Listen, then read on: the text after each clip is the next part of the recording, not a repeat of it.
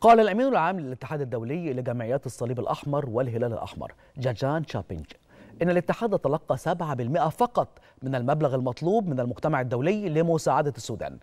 وناشد المسؤول الدولي الشركاء والمانحين تقديم المساعدة العاجلة للسودانيين في ظل تدهور الوضع بالبلاد.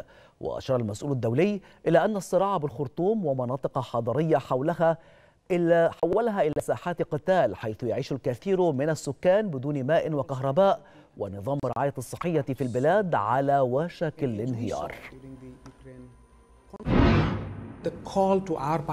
العمليات على الجانب المصري من الحدود أكثر تنظيما في بيئة مليئة بالتحديات لإدارة تدفق هذا العدد الكبير من الأشخاص. النداء إلى شركائنا والمانحين هو أن الاحتياجات بالسودان حقيقية فالناس يعانون في البلاد والوضع يتدهور وهم بحاجة إلى مساعدة عاجلة. لذا فإن التضامن والكرم العالميين مطلوبان تماما. وكما رأينا خلال الصراع الأوكراني يمكن للعالم أن يتحد بطريقة هائلة وأعتقد أننا بحاجة إلى نوع مماثل من التضامن مع السودان.